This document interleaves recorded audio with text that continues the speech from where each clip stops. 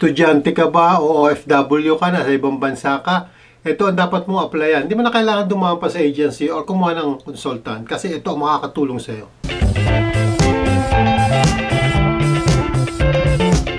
Good morning, good morning sa lahat. Magandang umaga, magandang hapon siguro sa ibang bansa, ano?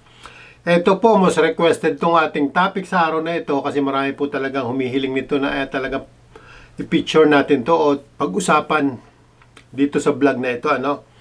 Ito pong uh, provincial nominee program at papunta sa permanent residence at kung paano po manominate sa isang probinsya. Ito yung topic natin sa araw na ito.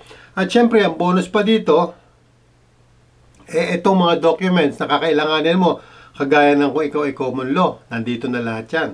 Pero bago yan, kung bago ka sa channel na to, click mo na subscriber button at notification bell nang hindi ka mahuli or ma-updated ka. At huwag mo na rin kalimutan i-pakishare mo na rin para sa mga kababayan natin. Okay, ito pong uh, provincial nominee program para po sa hindi nakakaalam ano itong programa na ito. Ito po ay isa sa pinakamagandang programa rin sa Canada. Kagaya ko napanood niyo express entry natin noong nakaraan. Ayan, nabubulol na naman ako aga-aga.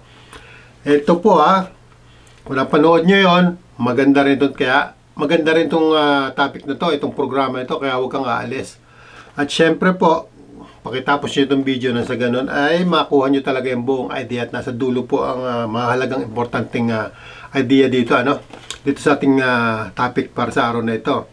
At ingat-ingat din po, ano? Kasi babala po tayo, ingat-ingat po tayo sa mga pagtanggap sa mga nagbibigay sa atin ng uh, offer sa mga email. Kasi marami po ako nakita at marami nag... Uh, nag-send sa atin ng mga screenshots at uh, masasabi ko po na halos 80% po nun ay talagang mga scam-cam. Talagang pong nakakatakot. Yun, pasensya na po dun sa ibang hindi ko nababasa ang message kasi po talagang ako ay nalakit na ang mata ka, kaka-scroll down. Bawat basa ko po ng message ay nagpapap up na naman yung iba. So marami po, inuna ko lang itong mga importante. Kagaya nito, ipiplex ko lang muna ito. Ano? Ipiplex ko lang po itong isang uh, viewers natin na nakapag-registered na dito sa isang agency dahil dati hindi rin siya maka, maka-registered kagaya ng problema ng dinadanas ng karamihan sa atin.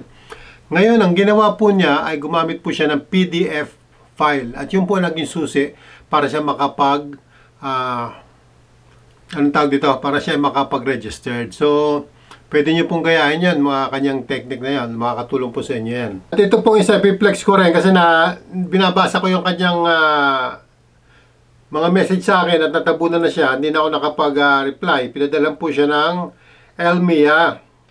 So, ang masasabi ko lang, Brad, sa iyo, kasi kailangan mo po, nakalagay na rito, eh, nandito na yung file na uh, lahat, nandito na lahat yung uh, impormasyon na pinadala sa iyo, Elmia. No? Ito na yung pinaka-importante uh, requirements para makapag-apply ka ng work permit. At sinasabi niya rito, please note that uh, foreign worker must apply to CIC for a work permit prior to this date. Bago po ma-expire to, itong offer na to, kailangan mo po mag-apply ng uh, work permit. At sinasabi niya, sa CIC ka dapat mag-apply. Yung po tama, ano? ito po yung mga legit na na transaksyon. At tungkol naman po, sa araw na to rin, nahatid rin po tayo ng trabaho. May trabaho rin po tayong hatid. At syempre may shoutout tayo. Yun nga lang yung shoutout natin, hindi ko po sigurado kung nalista lahat ng anak ko. Ano? Sapagkat yung bunso po ang naglista. Eh. So, titingnan natin kung mababasa ko hindi ito mamaya. Provincial Nominee, Gro Provincial Nominee Program. Uh, ito po yung PNP kung tawagin. Ano? Ito po ay para sa mga gusto maging permanent resident so gumamit ng consultant or agency. Ito po yung DIY po, ano, application paper-based. Okay, do it yourself DIY. So ikaw po ang gagawa nito. Pero ito pong uh, pagpunta natin sa isang province kung paano kayo makakuha ng uh, nomination, yan po mamaya tuturo ko rin sa inyo yan. Kaya stay tuned kayo. At ito po ay talagang uh, para sa mga estudyante, negosyante, skilled at semi-skilled workers. So, ayan. So, karagdagan po, ano, ito yung topic natin, ay yung mga requirements nito, documents, at paano ang proseso pag-apply para sa permanent residence, pag-apply, pa, paano makakuha ng nomina- nomination sa mga province, At, at ito pong dokumento para sa mga common law partner. Importante ito, siningit na natin para sa inyo. Marami nagtatanong yan eh. Provincial Nominee Program or PNP na programa ay para sa mga gustong manirahan sa isa sa mga probinsya dito po sa Canada no? at maging permanent residents except po sa Quebec. May sarili po silang uh, rules, iba po ito uh, dito sa loob ng Canada. Dito po sa loob ng Canada, ibig sabihin itong Alberta, Saskatchewan, uh, Manitoba. Ito po, ano yung mga lugar na yan, ano? Uh, New Territory, Nobisco, uh, mga ganyan, ano? Yung mga ibang probinsya. Basta dito yun eh, makikita nyo naman yung pamimilian nyo. Bawat probinsya po ay merong kanya-kanyang streams, immigration programs, na ang layunin ay para sa mga kagaya ng estudyante, negosyante, skilled worker, at semi-skilled. Para po maging uh, Provincial Nominee Program o PNP at makapag-apply ng permanent residence, meron pong dalawang stage kayong dadaanan. At ito po ang mga dapat mong gawin. Ano, ito po yung stage na to. Una po, dapat ka pong pumili muna, ano, mag-decide ka uh, kung saan province ka maninirahan dito sa probinsya ng Canada. At yung pong probinsya na yon napili mo, ay doon po tayo mag apply para sa nominasyon na magagamit natin sa pag apply sa permanent residence. Yung pangalawa po, pag ikaw po ay na-nominate na ng probinsya na napili mo, pwede ka na po ito, pwede ka na po mag-apply ng permanent residence. Ito po yung gagamitin mo yung certificate na yan. Ano? So, bago po tayo magpatuloy, uh, para dun sa ating uh, karagdagan, pipili muna po ako ng probinsya na pwedeng mag-nominate sa akin. Example po, halimbawa po ako, ang pipili, ano? Saskatchewan na napili ko kasi ito, taga rito ako eh, para may paliwanag ko na maayos. At bunga rin po ako ng SINP. Sa mga hindi po nakakaalam, nag-SINP rin po ako. At ito po ang nag-nominate sa akin para makapag-apply sa ng permanent residence. Sa katunayan po, dito sa mga kababayan natin nandito ngayon, mga bagong dating dito sa Saskatchewan, dito sa amin.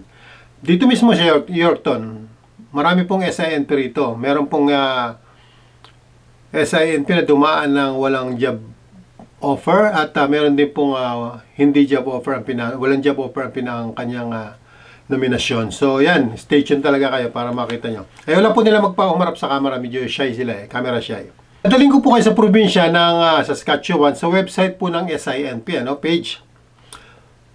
So ang unang step po ay pupunta po tayo sa Saskatchewan website at yan po ilalagay ko sa description box ang link, ano, kiklik nyo yan. So ganito po yung procedure niyan.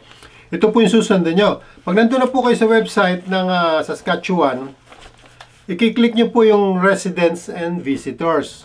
Yung po ang pipiliin nyo ha. Tapos magpapap up uli. Pipiliin mo naman yung select ang immigrating and moving to Saskatchewan kasi dito ka magmumove eh. Yung pangatlong uh, stage po, yung pangatlong uh, pangatlo po, ang, ang select mo is live in Saskatchewan tapos select mo ulit yung by immigrating. Yun ang kiklik mo ha, kasi ano yan eh, tatlo, apat. Meron diyang work or study or business. So kung uh, estudyante ka, yung study ang click mo.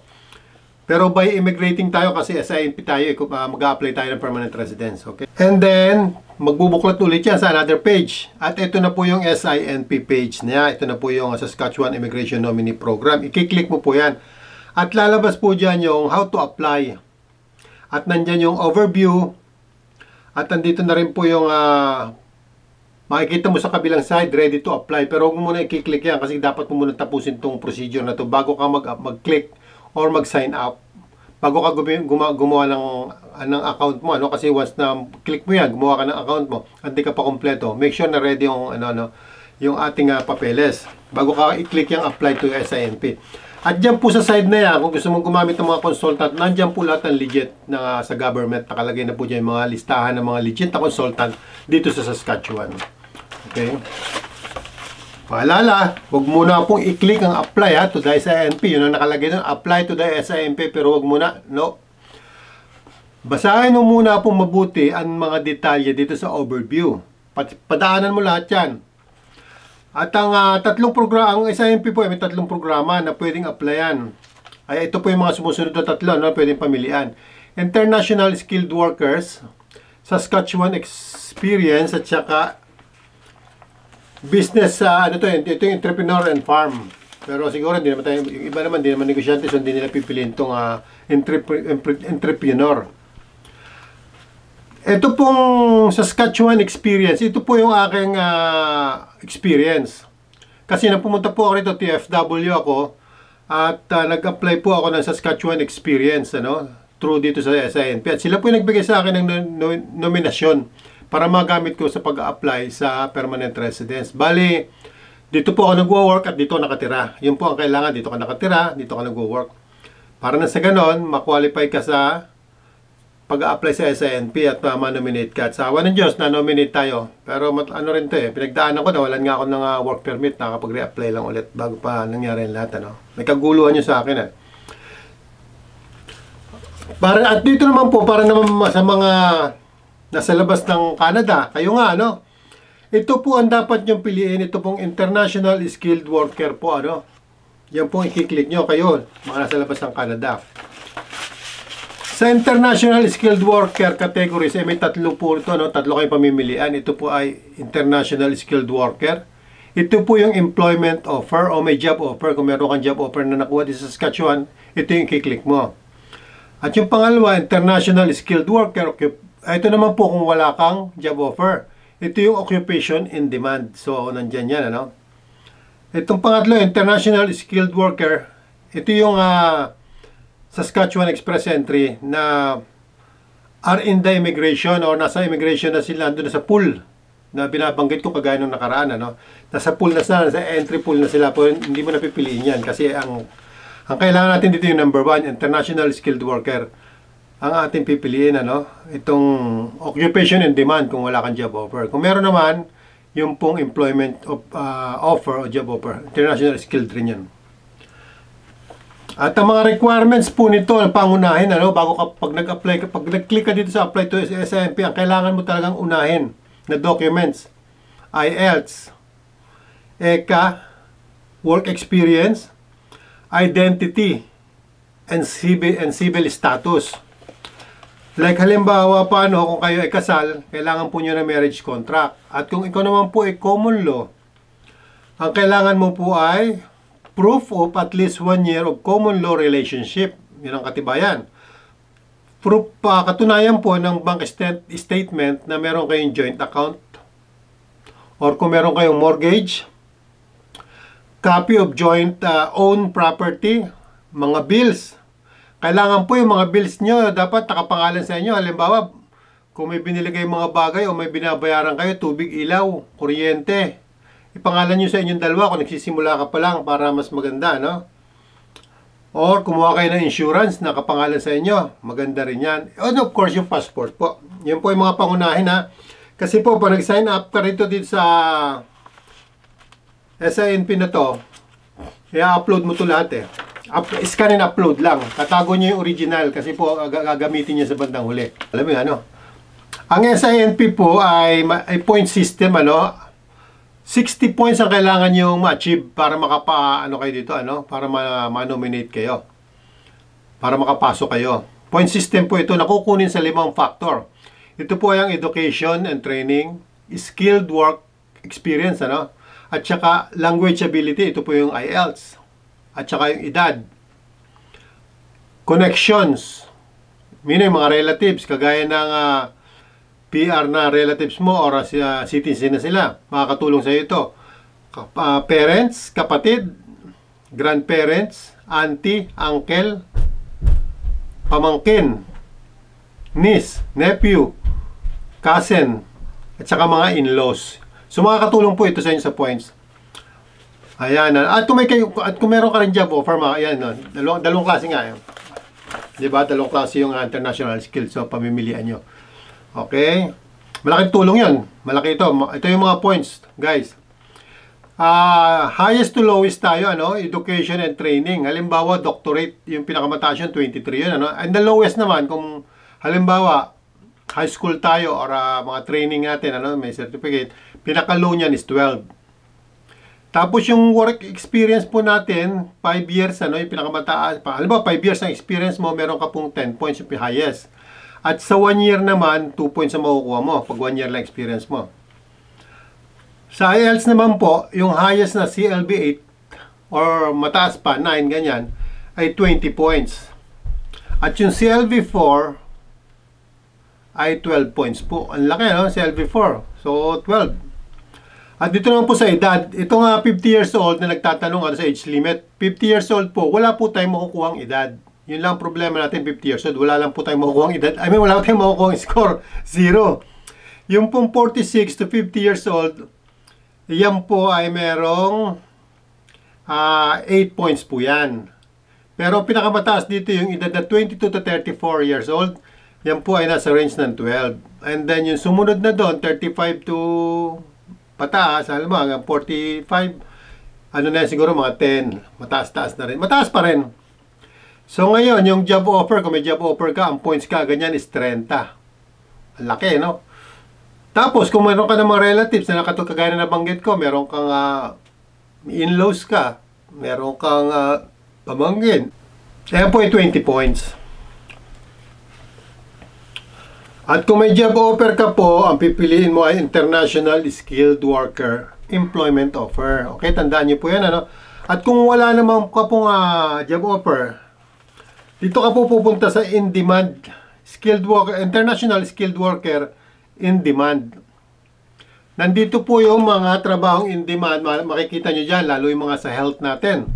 So ito yung chance nyo, ano, yung mga caregiver natin at kung ano pang iba't ibang uh, health sector. At sa mga in demand na trabaho, nandito po yan. Nandito lahat yan, yung mga sa foods and beverage, mga cook, kung ano-ano, mga driver siguro, mga kung ano-ano, marami dito. Basta in demand na trabaho. Yan ha, yun po pipiliin nyo. So, i-ready mo po ang mga dokumento nyo, no? yung nabanggit ko na. Like yung IELTS nyo, ECA. Ito po yung mga results ha. Kasi ito po yung mga documents na i-scan and upload mo. Tatago mo yung original. Bago mo po i-click yung apply to the SANP. Dito po, magkikreate ka na ng account and fa-follow mo na yung instruction yan. To fill out mo lahat po yun, ano, yung uh, sa accounts mo, dito sa SANP accounts mo. I-fill up mo lahat, dapat mong pilapan. At i-review po mo, mo muna po ano bago mo i-submit para make sure na kumpleto lahat para wala siyang uh, wala kang uh, kulang. At pag okay na po at kumpleto na i-submit mo na at pag na-approve ka na, dito po makakatanggap ka ng nomination package with information at dito po sinasabi ko ano yung mga susunod mong gagawin. At meron ka pong anim na buwan para mag-apply sa IRCC sa immigration para sa iyong permanent residence. Tandaan niyo po, anim na buwan niya pag natanggap niyo na yung ano, ano, nomination package niyo. Ibig sabihin, nag-grant na kayo, meron na kayong uh, certificate, nomination certificate na galing sa province na pili niyo. So, yun, 6 months lang po, ano, kailangan may apply mo na. Apply mo na. Ano to, paper-based, ha? Pero nandun naman yung package, ano? Nandun yung package. Kaya kompleto na yun. Mga form, everything, guide, nandiyan na lahat yan. Meron ka naman job offer at na-nominate ka, di ba? Pwede mo na rin ito kaagad na i-apply ng work permit. At ito po ay ang halaga ng work permit ay $230, ano? Ang bayad nito. Kung uh, wala kang pambayad, pwedeng i-shoulder to ng employer mo.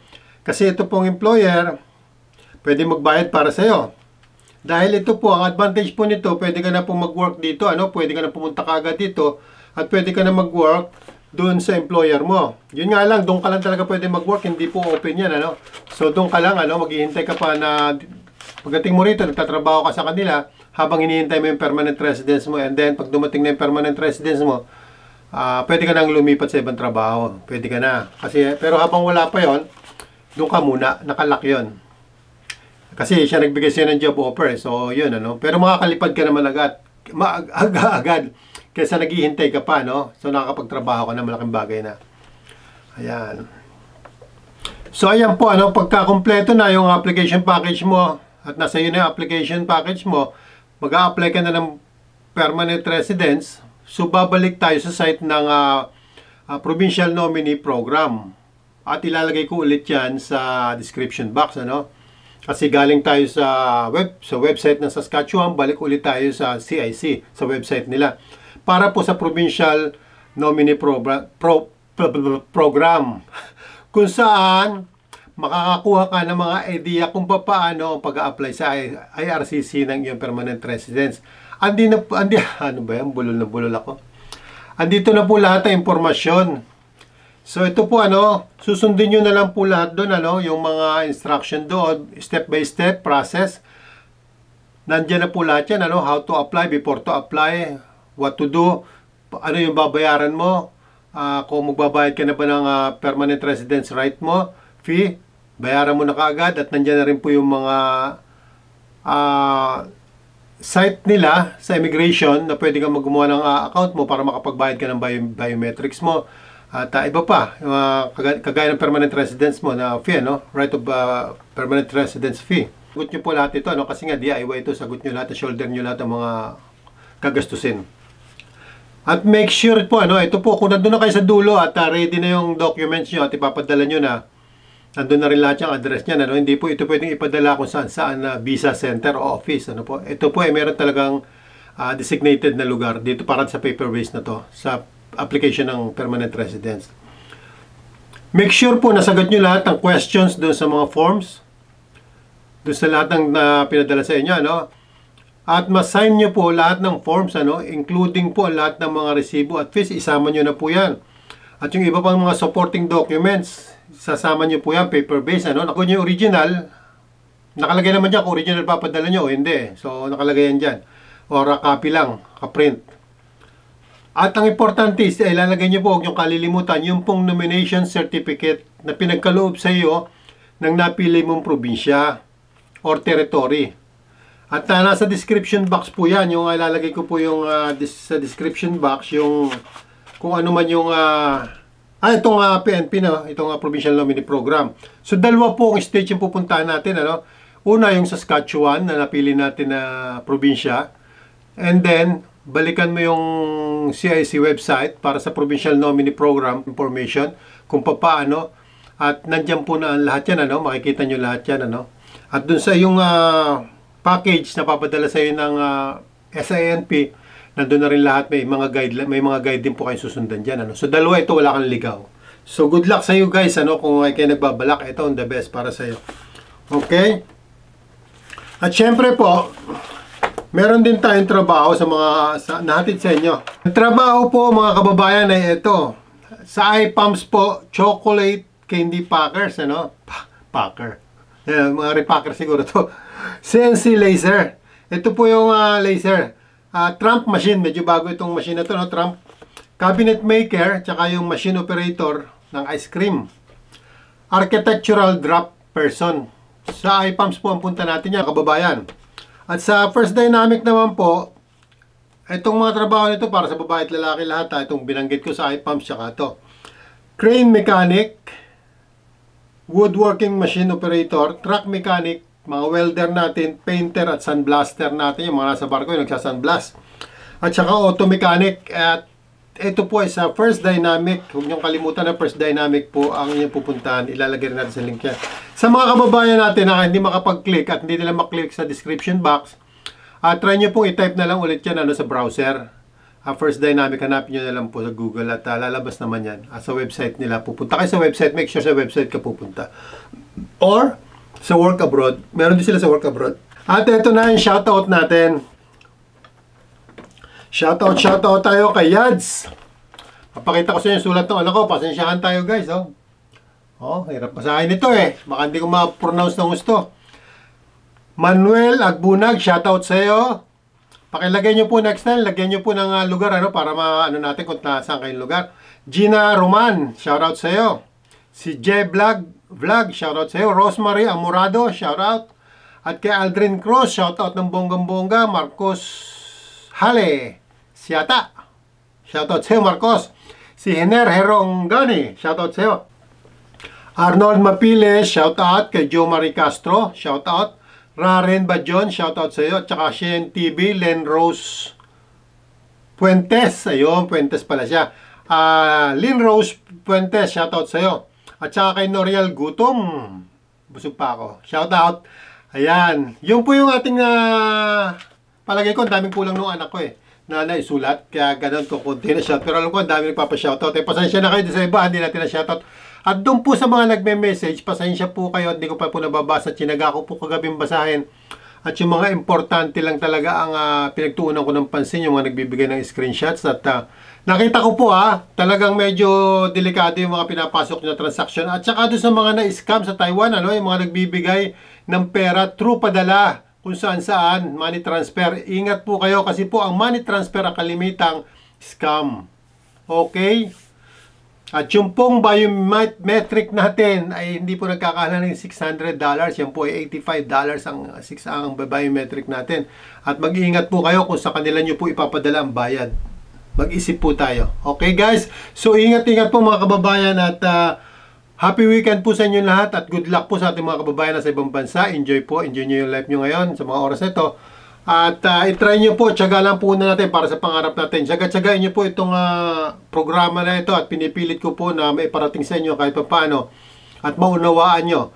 At uh, nasa ganon, matupad yun yung mga pangarap dito sa mga programa na ito, kagaya nito, ano, mga PNP na to. Baka po sakali, ano, yung mga nasa Israel, yung mga kung saan saan, ano, tigas yata ng pagkaka-Israel ko. Yung nasa ibang lugar, ito po pwede nyo gawin tong provincial nominee program. Wala naman pong mawawala eh ang uh, importante alam niyo na kung paano manominate sa isang lugar. Kasi po, sa isang probinsya, lalo na kung meron kayong kapag-anak. Kasi po, ang importante po dito sa sa ganitong provincial nominee na ito, kung ikaw manominate, kasi dito po, tinitingnan nila talaga, kita nyo, ang taas ng experience, din, tapos tingnan nila kung may edukasyon. Ano yan eh, balance yan eh, edad nyo or ano, mababalance eh.